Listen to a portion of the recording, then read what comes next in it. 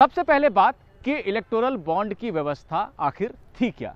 देखिए 2017 में केंद्र सरकार ने संसद के ज़रिए income tax act, companies act और रिप्रेजेंटेशन ऑफ़ पीपल्स एक्ट, यानी जन प्रतिनिधित्व कानून में कुछ संशोधन किए और उन संशोधनों के बाद लाई गई इलेक्टोरल बॉन्ड की व्यवस्था। ये व्यवस्था ये कहती है कि अगर किसी कॉरपोरेट घराने को या किसी को भी बड़ा चंदा देना है किसी राजनीतिक पार्टी को तो वो स्टेट बैंक में जाएगा, इलेक्टोरल बॉन्ड खरीदेगा और वो बॉन्ड उस पार्टी को देगा जिसे वो चंदा देना चाहता है और पार्टी वापस बैंक में आएगी, बॉन्ड को कैश कराएगी, यानी बॉन्ड के ज़रिए पैसा प्राप्त करेगी। सरकार का यह कहना था कि इससे पहले काले धन का प्रवाह बहुत ज़्यादा था। राजनीति में राजनीतिक दलों को ब्लैक मनी मिलती थी, लेकिन अब बैंकिंग चैनल के ज़रिए ही पैसा दिया जा सकेगा, बड़ा चंदा।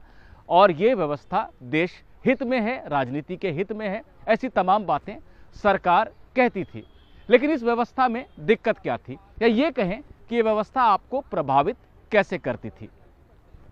आप अगर एक पार्टी के समर्थक हैं, आप नौकरी पेशा व्यक्ति हैं, आपका वेतन आता है, आप छोटी दुकान चलाते हैं, आप छात्र हैं, शिक्षक हैं, आप कोई भी हो सकते हैं, किसान हो सकते हैं आपको कोई पार्टी पसंद है और आप उसको एक हज़ार, दो हज़ार, तीन हज़ार, ऐसा कोई चंदा देना चाहते हैं। वो चंदा आप दे सकते हैं, लेकिन जब यही चंदा करोड़ों में हो, हज़ारों करोड़ में हो, सैकड़ों करोड़ में हो, तब जब किसी पार्टी को ऐसा चंदा कोई देता है, और ये जानकारी भी, यानी आपने छोटा चंदा दिया, आपकी जानकारी गोपनीय रखी जाए, ये ठीक है। आपका पॉलिटिकल एफिलिएशन, राजनीतिक झुकाव जो है वो आपका पड़ोसी ना जाने, ये ठीक है।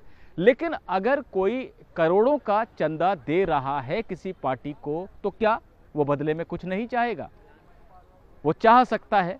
और ये जानकारी गोपनीय रखी जा रही थी इलेक्टोरल बॉन्ड योजना के तहत। यही कहते हुए कि किसी का राजनीतिक झुकाव क्या है, ये जानना सही नहीं है किसी के लिए। और यह सूचना के अधिकार के तहत, राइट टू नो के तहत नहीं आता है।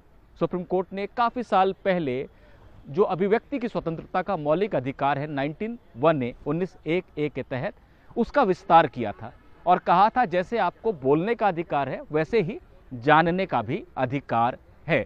सरकार का यह कहना था कि किसने किसको कितना चंदा दिया, ये जानना किसी अधिकार के तहत नहीं आता है। एक आम नागरिक जो है, वो ये जाने कि जो उम्मीदवार खड़ा हुआ है चुनाव में, उसका आपराधिक रिकॉर्ड क्या है, उसकी डिग्री क्या है, उसके पास संपत्ति कितनी है, ये उसके मतदान के लिए ज़रूरी है कि वो जाने कि कैंडिडेट कौन है। लेकिन पार्टी को चंदा किसने दिया, कितना दिया, ये जानना ज़रूरी नहीं है। उल्टे वो गोपनीयता की जो शर्त है कि किसी के चंदे के बारे में दूसरे लोग ना जान सकें, उसका उल्लंघन करता है। ये सरकार की दलील थी तो आपको ये कानून इस रूप में प्रभावित कर रहा था कि जिस पार्टी को आप वोट देने जा रहे हैं, जिसकी सरकार आप चाहते हैं कि बने, लेकिन आप ये नहीं जानते हैं कि उसको किसने हज़ारों करोड़ रुपए का चंदा दिया है और कौन उस पार्टी की नीतियों को प्रभावित कर सकता है जब वो सरकार में आएगी तो। तो ये एक वोटर के साथ जानकारी न मिलने की एक कमी सामने आ रही थी इस कानून में। अब सुप्रीम कोर्ट ने क्यों इसे असंवैधानिक करार दिया है? हालाँकि मेरे आ, वीडियो के पिछले हिस्से से ही आपको अंदाज़ा लगने लग गया होगा कि सुप्रीम कोर्ट ने असंवैधानिक क्यों माना है। देखिए सुप्रीम कोर्ट ने सबसे पहले यही कहा है कि जानने का अधिकार लोगों को है और आप किसी गोपनीयता के नाम पर कि चंदा देने वाले की जानकारी सार्वजनिक नहीं होनी चाहिए उसके नाम पर इस अधिकार को छीनना चाहते हैं उसका हनन करना चाहते हैं इसकी अनुमति नहीं दी जा सकती है। अगर किसी ने छोटा चंदा दिया है, बिल्कुल उसे गोपनीय रखा जाए, लेकिन बीस हज़ार से ऊपर का चंदा जो इलेक्टोरल बॉन्ड के ज़रिए दिया जाता है और जो करोड़ों रुपए तक होता है, उसको छुपाना, ये वोटर के साथ अन्याय होगा। तो संसद ने 2017 में जो संशोधन किए थे, रिप्रेजेंटेशन ऑफ़ पीपल्स एक्ट में, इनकम टैक्स एक्ट में, कंपनीज़ एक्ट में, उन सबको सुप्रीम कोर्ट ने असंवैधानिक करार दिया है। कोर्ट में सुनवाई के दौरान ये दलील भी दी गई थी कि लेवल प्लेइंग फ़ील्ड नहीं है।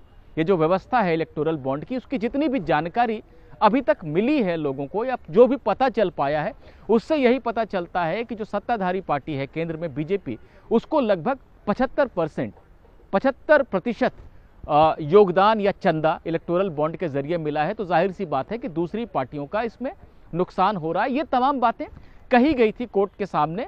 और कोर्ट ने यह माना है कि लोगों को जानने का अधिकार है, इसे गोपनीयता के नाम पर छुपा नहीं सकते हैं। ना आप ये कह सकते हैं कि काला धन इससे रुक रहा है, काले धन को रोकना बहुत ज़रूरी है, लेकिन लोगों के जानने के अधिकार को छीन कर नहीं। ये बातें कहते हुए सुप्रीम कोर्ट ने असंवैधानिक करार दिया है। सुप्रीम कोर्ट ने यह भी कहा है कि कंपनीज़ एक्ट की धारा एक सौ बयासी में जो संशोधन किया गया था, उसमें किसी कंपनी को अनियंत्रित, बेहिसाब पैसा देने का अधिकार मिल गया था किसी राजनीतिक पार्टी को, जो कि पहले ये होता था कि उस कंपनी को जो इस साल में, इस वित्तीय वर्ष में जो मुनाफा हुआ है, उसका साढ़े सात प्रतिशत तक वो दे सकती थी किसी पार्टी को या अलग अलग पार्टियों को, लेकिन अब वो सीमा हटा दी गई थी। यानी एक कंपनी बेहिसाब पैसा दे सकती है किसी पार्टी को। ये तमाम बातें सुप्रीम कोर्ट ने मानी कि ये सब गलत है। लोकतंत्र के हिसाब से ये गलत है। अब हम इस पर आते हैं कि इससे होगा क्या? इस फैसले के बाद होगा क्या? देखिए, पहली बात, अभी से तत्काल इलेक्टोरल बॉन्ड व्यवस्था निरस्त हो गई है। खत्म हो गई है, अब कोई पार्टी चंदा नहीं ले सकती है इलेक्टोरल बॉन्ड के ज़रिए, ना कोई कॉरपोरेट घराना चंदा दे सकता है। सुप्रीम कोर्ट ने आगे क्या कहा है? सुप्रीम कोर्ट ने आगे ये कहा है कि अगर इलेक्टोरल बॉन्ड किसी कंपनी ने खरीदे थे, किसी पार्टी को दिए थे लेकिन उस पार्टी ने अभी तक उसे कैश नहीं कराया, यानी बैंक में देकर अपने खाते में वो पैसे नहीं लिए हैं। तो अब उस बॉन्ड का कुछ नहीं होगा।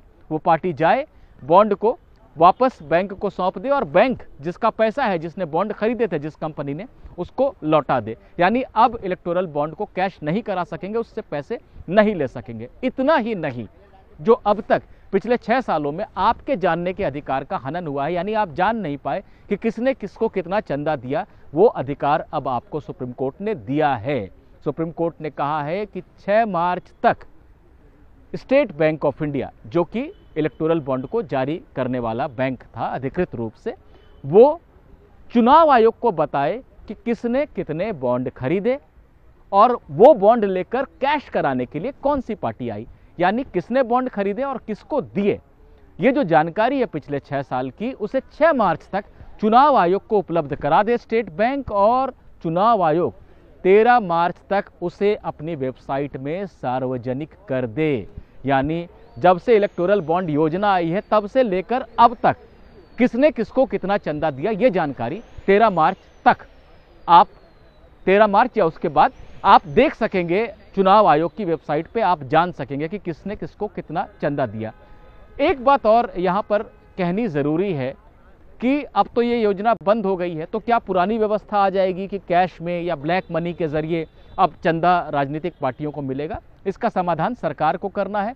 सुप्रीम कोर्ट ने यह नहीं कहा कि काले धन का प्रवाह रोकना गलत है या इलेक्टोरल बॉन्ड योजना उस तरह से गलत है कि कोई बैंकिंग चैनल के ज़रिए पैसे दे रहा है, वो अपनी जगह पर सही हो सकती है। लेकिन गोपनीयता और बेहिसाब पैसा दे पाने की जो सुविधा, जो दी गई थी, चंदा देने वालों को और राजनीतिक पार्टियों को भी, वो बंद की गई है। तो सरकार इन बातों का ध्यान रखते हुए दोबारा अगर योजना लाना चाहती है तो बेशक ला सकती है, लेकिन फ़िलहाल इलेक्टोरल बॉन्ड योजना अपने मौजूदा स्वरूप में खत्म कर दी गई है, उसे भंग कर दिया गया है, निरस्त कर दिया गया है, और अब ये योजना अतीत की बात हो गई है। フフフフ。